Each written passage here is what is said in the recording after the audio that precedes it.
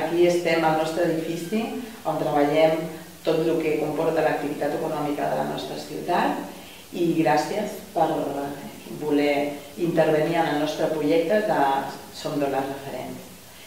En primer lloc, m'agradaria saber quina és la seva trajectòria professional, d'on vens i a on estem, en quin punt. Gracias a vosotros por invitarme. De verdad que sé que me hace mucha ilusión participar y compartir este espacio con vosotros y con otras mujeres referentes de aquí de San Feliu. Y ojalá, bueno, salimos unas cuantas, pero que estoy segura de que hay muchísimas más detrás y que espero que esto sea un proyecto que cada año vaya avanzando y se dé otra pincelada. Eh, bueno, mi trayectoria, yo eh, formativamente no tengo nada que ver con empresa porque yo inicié bueno, acabé mis estudios de, trabajadora social, pero yo ya desde siempre, mi padre ha sido transportista de toda la vida, eh, montó su pequeña empresa de transporte, empezó con un camioncito, después dos, tres, yo siempre he estado en la sombra ayudándole, desde muy, muy pequeña me compró una, una máquina de escribir para poder hacer las facturas y demás, porque claro, estaba más limitado. O sea que yo siempre he estado, eh, aunque he seguido mi, camino formativo y tal, lo que a mí me gustaba estudiar, pero siempre he estado apoyando a mi padre en su, empresa. Eh, no llegué a ejercer como trabajadora social, sí a nivel de voluntariado, pero no profesional, y entonces ahí eh, opté por, por hacer apoyo a mi padre y continuar su empresa y hacerla crecer si era posible, mejorarla. Entonces yo en el año 98, no, en el año 97 ya empecé en serio a trabajar con mi padre. Eh, Como administrativa. Le hacía la parte administrativa, bueno, le hacía la parte administrativa, mi padre seguía llevando todo lo demás, toda la gerencia y tal. Eh, en aquel entonces él creo que tenía dos, tres trabajadores y él también estaba en un camión yo le llevaba toda la parte administrativa. Y de ahí ya fuimos evolucionando. En el año 2004 eh, ya dije, nos tenemos que hacer sociedad eh, limitada y empezamos a crecer un poco como empresa. Y ya coger yo las riendas eh, de la dirección y gerencia. Hasta, bueno, hasta el punto mi padre aún sigue en la empresa, pero él ya está en cuestiones más operativas de logística. Sí, y, todo lo que es tema de, gerencia y demás. Lo, llevas tú.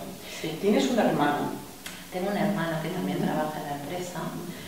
El hecho de que se decidiera a nivel familiar que tú llevaras la gerencia del mismo proyecto, ¿cómo fue? Porque normalmente esto no suele suceder, ¿no? Por el sistema que nos envuelve, normalmente se suele dar las riendas de un proyecto así como el vuestro al heredero, ¿no? por así decirlo. ¿Y en vuestro caso cómo lo gestionaste? Bueno, desde siempre mi hermano, dos años mayor que yo, además, con lo cual eh, es más fácil, ¿no? Correcto. Pero en mi casa nunca, nunca ha sido machista en este sentido.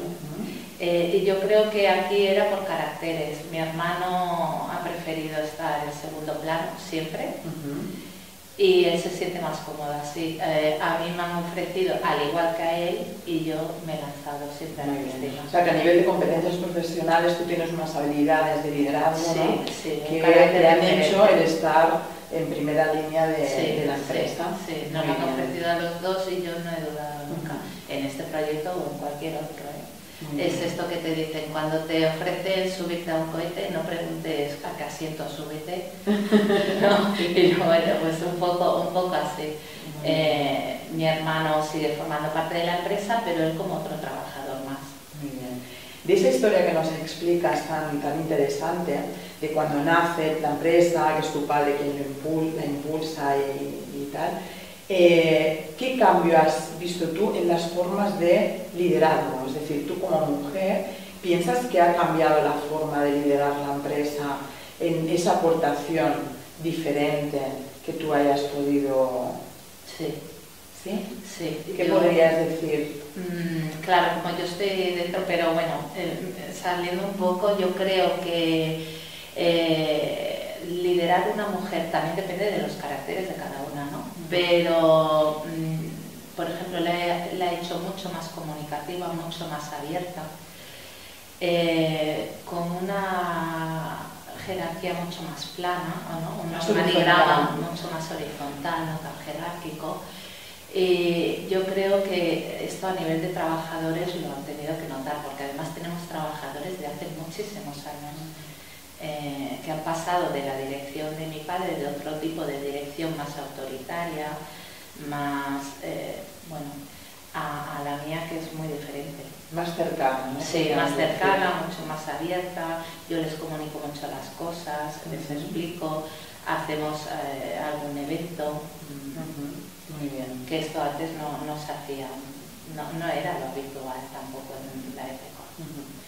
Además de liderar tu, tu, empresa, formas parte de la Asociación de Empresarios y Empresarias de Polígono Alpla. Sí. Eh, en la asociación, una de las primeras sensaciones que tuve cuando hicimos la presentación era que había muy poca representación de, mujeres y tú eres una de ellas.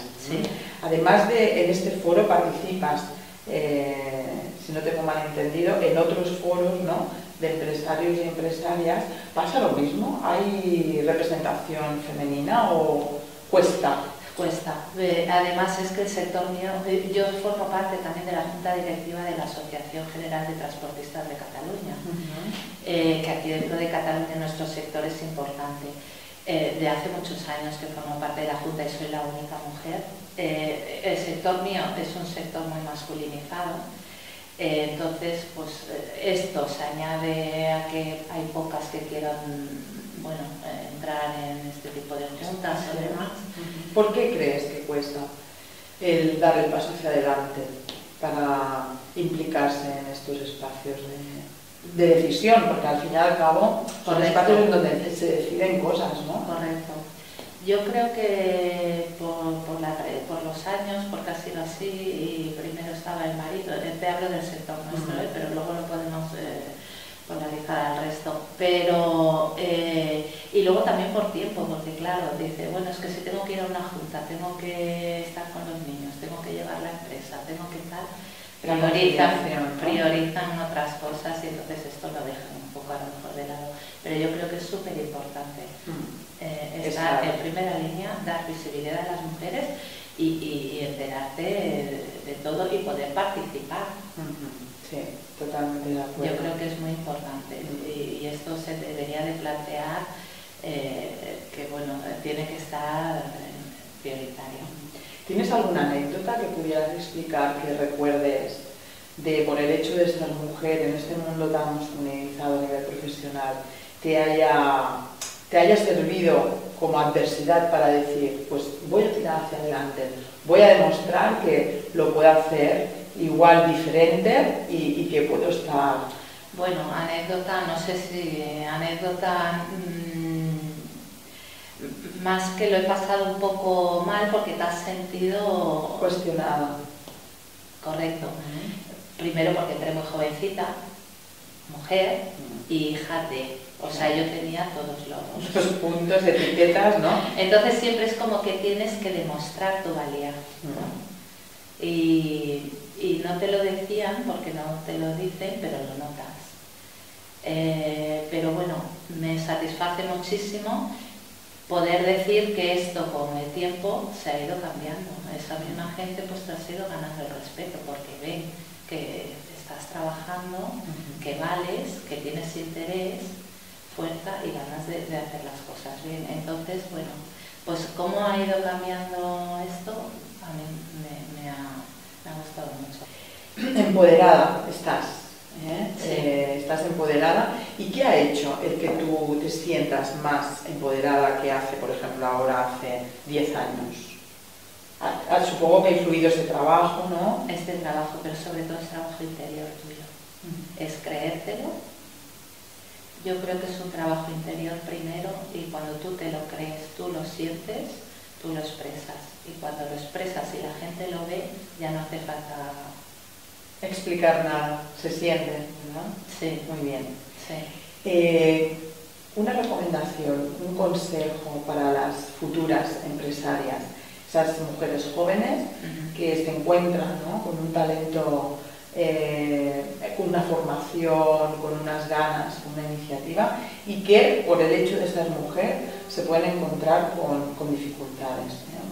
¿Qué recomendación harías? Pues yo les digo a mis hijas, digo, el mundo ahora es vuestro, o sea, tenemos, eh, es el momento de las mujeres y tenéis que aprovecharlo porque no tenéis límites.